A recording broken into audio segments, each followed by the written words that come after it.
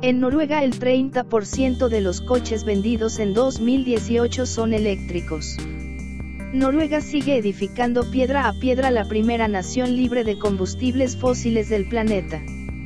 A su 100% de generación energética renovable, suma un creciente mercado de automóviles eléctricos.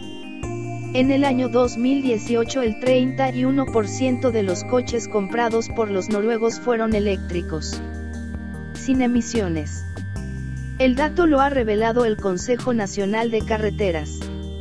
Un tercio de los automóviles colocados en las calles a lo largo de 2018 eran sostenibles.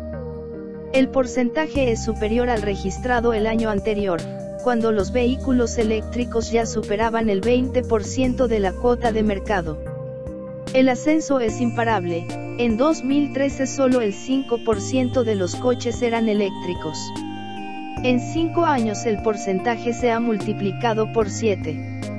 Noruega ha liberado de peajes a los vehículos eléctricos, les ha permitido estacionar de forma gratuita en el interior de las ciudades y ha impuesto generosos incentivos fiscales a su adquisición, el resultado no se ha hecho esperar. Es un éxito. La meta es lograr un parque automovilístico 100% verde antes de 2025. Si sumamos los híbridos, más eficientes, pero contaminantes, el 49% de los coches comprados por los noruegos ya son sostenibles.